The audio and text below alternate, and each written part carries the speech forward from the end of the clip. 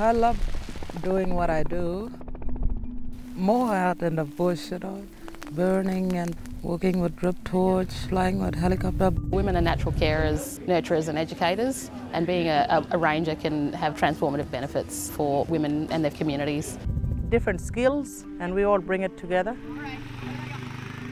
Just like when you say it for country, you know, you look after country, country will look after you. I'll say fire would be the same thing.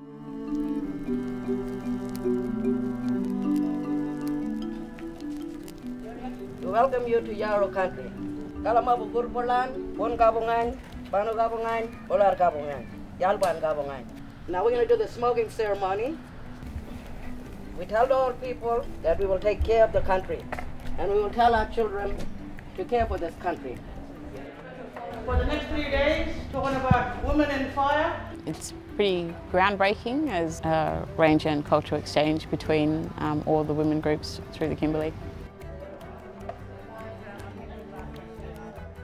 It's not one-sided, it's a variety of men and women that want to push up and look after country. What is the future of women in fire and where do you want to be in five years? What we've heard from the women at the forum this week is that they want to continue to play a, a role in fire management on country.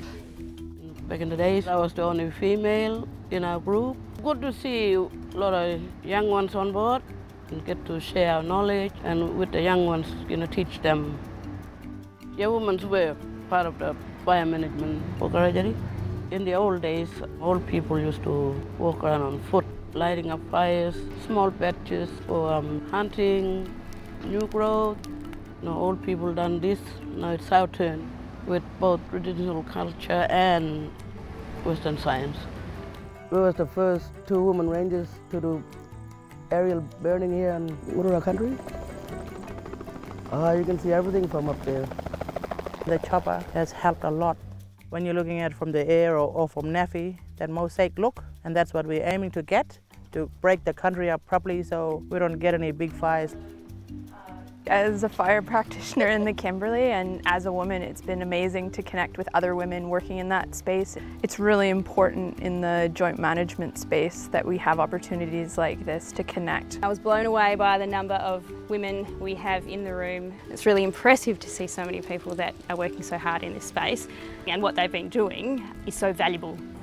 Land management and fire management programs in the Kimberley are critical to Aboriginal people maintaining their cultural and environmental heritage values.